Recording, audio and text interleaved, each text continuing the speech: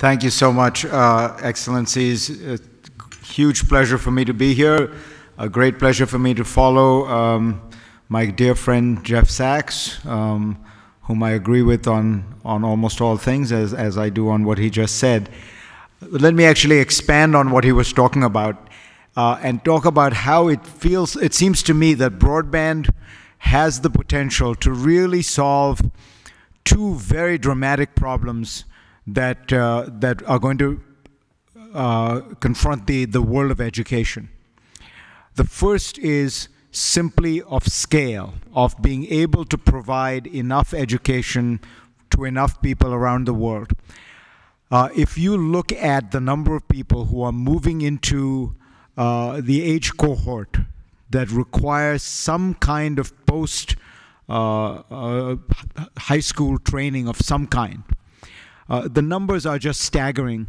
And with the one exception of China, there is no country that has really even remotely begun to address what it would take in terms of the expansion of physical capacity to educate these people.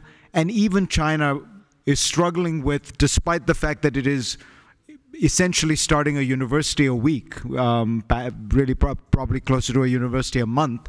Um, the problem of human capital. How do you train those many teachers to create that kind of access? The only solution to it, it seems to me, is to really fully embrace the, uh, the online revolution and recognize how it is going to be able to provide that kind of education. So I gave the example in my talk yesterday of Bob Shiller, uh, a, a, famous economist just like Jeff Sachs, who told me that last year in his, uh, was the first year he offered an online course. Uh, and in that course, the number of people who took the course, took it, completed it, did all their tests, received a diploma, was larger than the number of people he has ever taught in 32 years of teaching at Yale. Uh, and that is, by the way, a tough course, right? There, there are a number of courses that uh, I think the numbers would be even higher for that. The quality level can be seen in this. The, the founder of Coursera, Andrew Ng, is a computer science professor at Stanford. He pointed out that last year, um, I think something like uh, 40,000 people took his course all over the world the top 500 spots, not one of them was held by a Stanford undergraduate who was physically in his course. In other words, all the top 500 students were somewhere out there online, not at Stanford. Um, and so you see in that the capacity for the expansion, the capacity to tap and cultivate human talent and intelligence all over the world. Um, but there is another enormous advantage to this historically, we have always thought of scale and quality as being inversely correlated in education. That is, the best education was private one-on-one tutorial that uh, you know the rich provided to their children.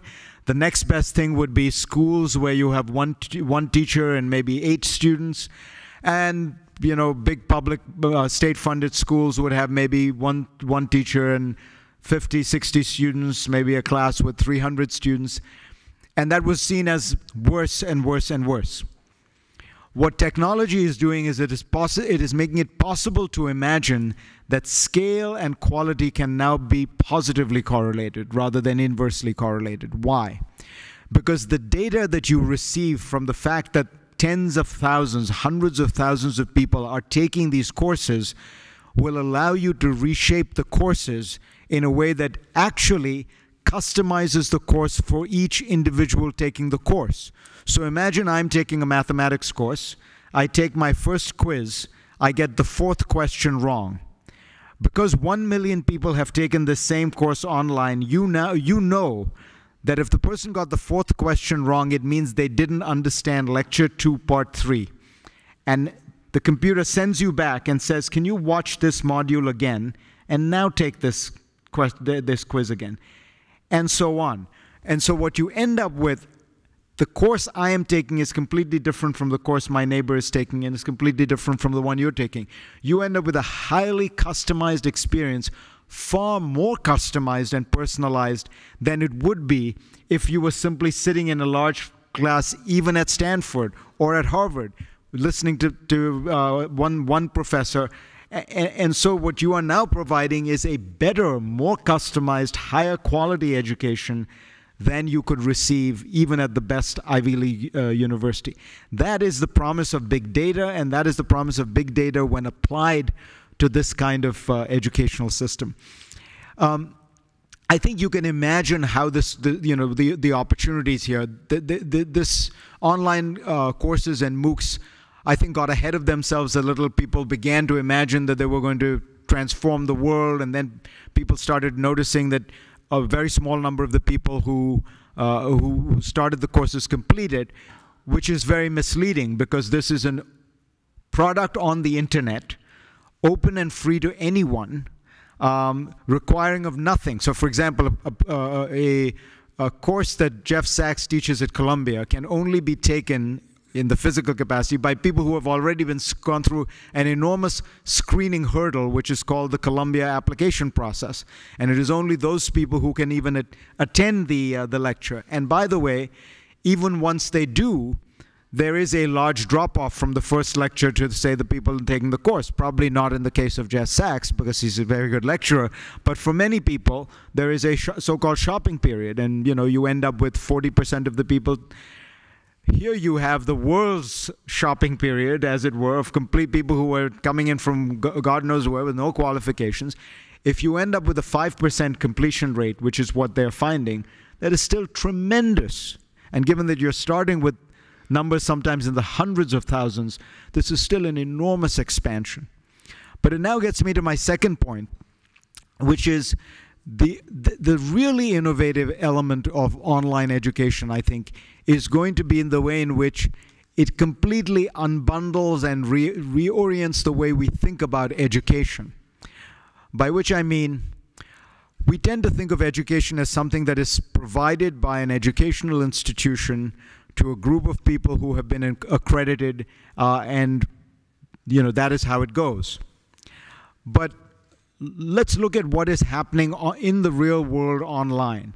What is increasingly happening is that people are providing their skills, their talents as teachers, uh, and uploading them as, as it were onto the internet. And people are watching, listening, learning to those skills. Uh, I'm thinking of YouTube videos. I'm thinking of uh, all kinds of uh, websites like How Stuff Works. I'm thinking of a new uh, uh, education company that actually acts as a eBay that provides a platform, a software platform between instructors and students, and has now 20 million students, I believe. But when I say instructors, it's important to understand what I mean. I, I mean anyone who thinks he or she is an instructor in any subject he or she thinks they have a talent in. And so you can imagine a lot of them are computer coding and things like that. A lot of them are actually wellness and health related. A lot of them are how to appreciate music, how to read a poem. Um, all these things are being uploaded onto the internet, and people are learning what I think this addresses is a second great gap that education faces, which is the lifelong learning challenge. We are moving into a world in which you can train somebody for a job, but is that job going to be around five years from now? Is that company going to be around? Is that industry going to be around? We don't know. Um, I give you an example. There are currently jobs, uh, very good jobs that people have for online marketing on Twitter there, this is actually a job that you can, you can train for. Will it exist five years from now? I don't know. Will Twitter exist five years from now? Will that job be actually online marketing on Snapchat? Right? So, this kind of bottom up uh, distributed education can respond much more quickly to the challenges and demands of the market than Harvard, Yale, or Princeton, or Columbia can. Um, and it is it's not education in the sense of learning ancient Greek and Latin, but it does fill a very important need that people are going to have to upgrade their skills, to upgrade their knowledge, and by the way, to continue a process of lifelong learning and enrichment. That's where the poems and, and, and music come in. But this, I think, is something we've only just begin to, begun to scratch the surface of. And I think it has also the, the, the, the possibility of tapping human talent in a completely different way than people uh, have done. There's a, there was a wonderful book called Abundance by, by a um, writer, Peter Diamandopoulos, and he talks about this, uh, the promise of crowdsourcing and online ed education in this way. There, there was, for a long time, people have tried to figure out who are good at a very technical task of folding proteins, folding protein mole molecules. It's a very difficult thing, mostly done by graduate students at biochemistry labs. They decided, why don't we open it up? Give people some instructions on what you need to do and just see if there are other good protein folders out there in the world. And they held a contest. And it turned out that the world's best protein folder was a, a grade school teacher in England who did this at nights for fun and she literally was better than any graduate student in biochemistry in any you know of the storied universities in the world. What that talk, I think what that touches on is the, the extraordinary opportunity we have here to tap into human talent. Everybody is a, is an expert at one thing, uh, probably, and if that one thing uh, is is of some value and can be communicated and can be articulated, it can be taught and people can learn from it. And you know what a, what a, what a fascinating idea for the world that we all have the capacity to teach something, we all have the capacity to learn from someone, uh, and that that can produce uh, all, you know all, all kinds of things. By the way, there's one company that does it that does this platform I was describing. I can't remember the name of it. The, the CEO is, is here. Um, well, he was telling me that the top 10 teachers uh, instructors, again, self-appointed, self, uh, now personally make collectively $30 million a year. So when you think about the job potential, the, the economic activity that you can generate by being able to produce these kind of matchups, it feels to me that is the kind of promise that online uh, has. My final point to you is to look at where it could make a huge impact and how it will make a difference. I was in India two weeks ago, and I think what is happening in India is one of the great revolutions uh, that is taking place in the world right now. India has very bad broadband access. For those of you who've been, you know why. India has very bad infrastructure of every kind. Broadband is no different. Anything that requires you know, permissions and digging holes and, uh, you know, dealing with all the, uh, the, the, difficulties that that involves in a messy developing democracy, uh, India tends to do badly at. Um, and so it has bad broadband in infrastructure. I would guess honestly, India has maybe 150 million people who have access to broadband internet, um, big cities, upper middle class people. What is happening in India is a 4G rollout that is the largest 4G rollout in the world. Um, you have four big companies led by Reliance, the largest company in, in, in India, uh, doing it on a massive scale. Reliance alone is building 150,000 cell phone towers. By 2018, they've already built 90,000. Uh, Bharti will do another, will probably match it. The net result is 800 million people will have 4G access in India by 2018 uh, 1.1 or 1.2 billion by by uh, 2020. And the numbers right now are pretty. They're online. They're they're on track to achieve this. The 4G is better than 4G in the United States because they leapfrog is very good, high quality video. And so all of a sudden, you're going to have a population twice the size of Europe that has access to high quality internet. Uh, and I don't think we really know what the impact of that will be. Uh, it's a different you know country than obviously it's a much poorer society uh, country than even China, but it is also a country very plugged into the world because of uh, uh language. Uh, you know, about 300 million Indians have some working knowledge of English. Uh, it has asked, it has a, it's a much more open system you know and that's why google and facebook and amazon will be the, the, the, there is no great firewall that the indian government maintains that that uh, that blocks out um, foreign sites foreign servers. And so all of that suggests that you're going to have something very very interesting happen in india over the next five to ten years. And i think it would be fascinating uh, to see whether these uh, you know whether this promise uh, ends up being being seen most fully in one of the poorest countries in the world Thank you.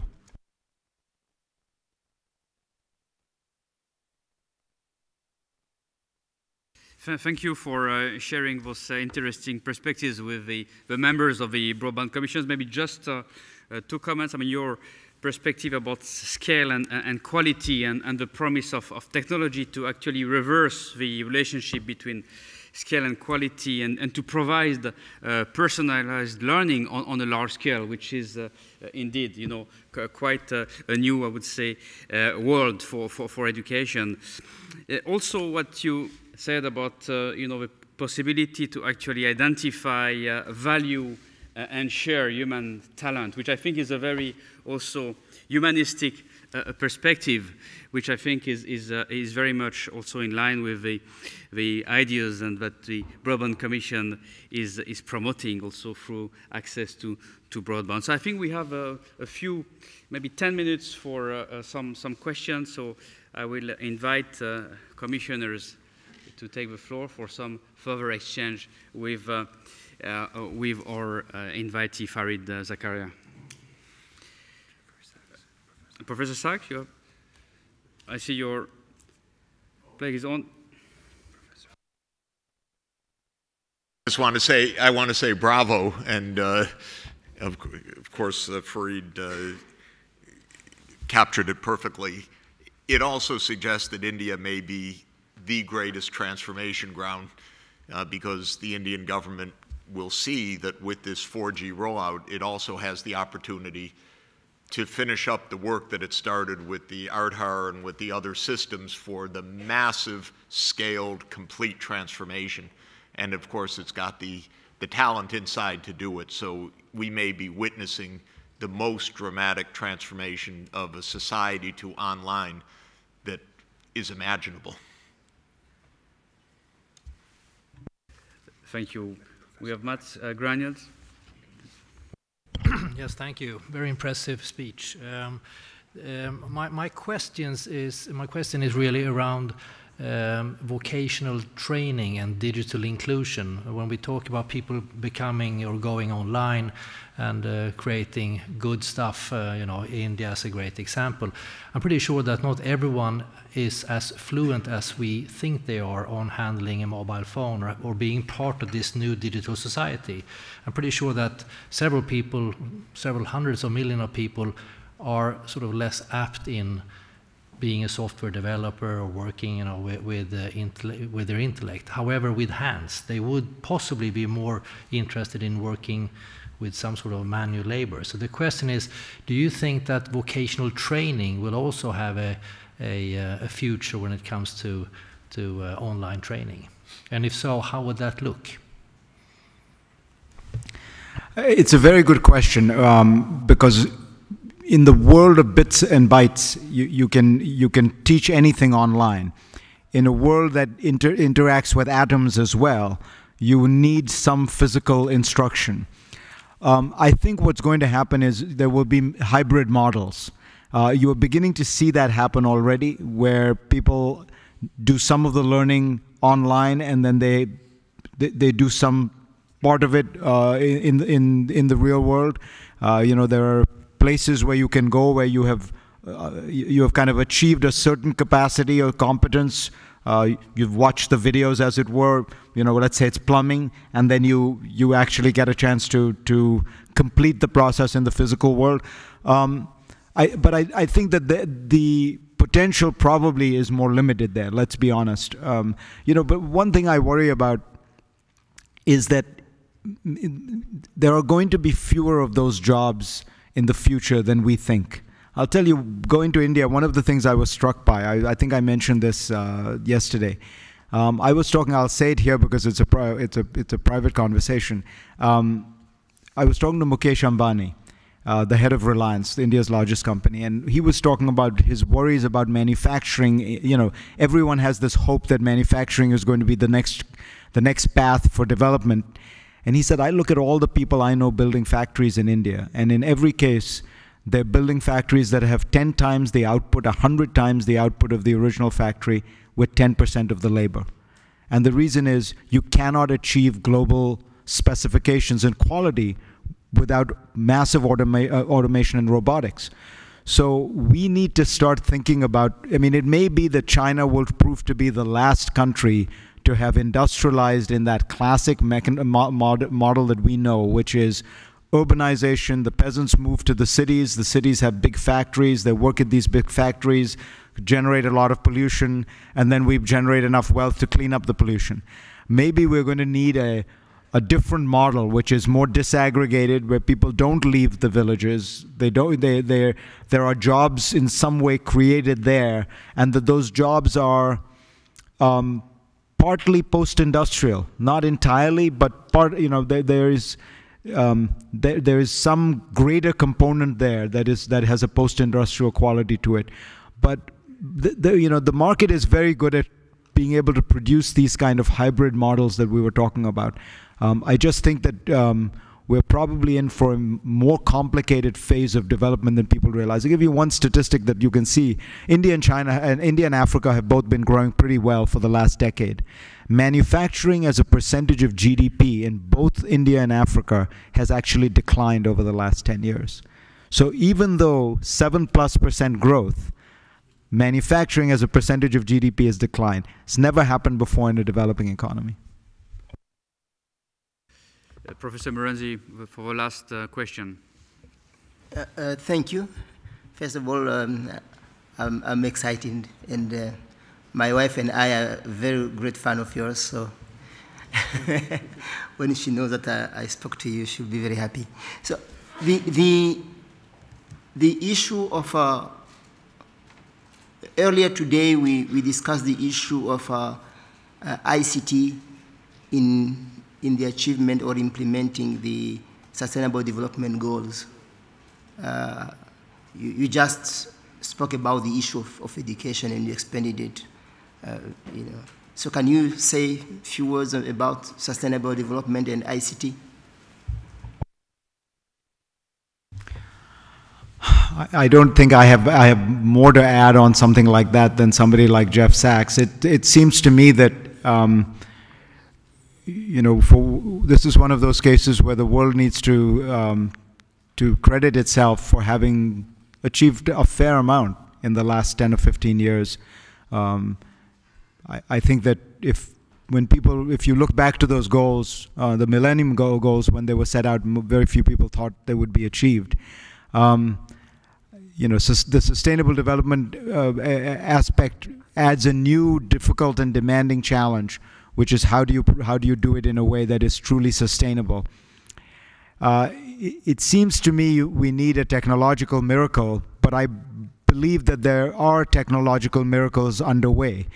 There is simply no way you are going to achieve true sustainable growth without energy that has essentially zero carbon emissions and is cheaper than coal. Uh, if it's not, if it doesn't have zero carbon emissions, it doesn't help with climate on the climate change front. And if it isn't cheaper than coal, India and China will not do it. But the good news is I think you are getting several uh, possibilities on that front. Um, you have had a dramatic uh, transformation of solar. You're having a smaller but significant change in wind. Um, you are seeing battery technology improve really for the first time in, in, in a, uh, at a quantum level.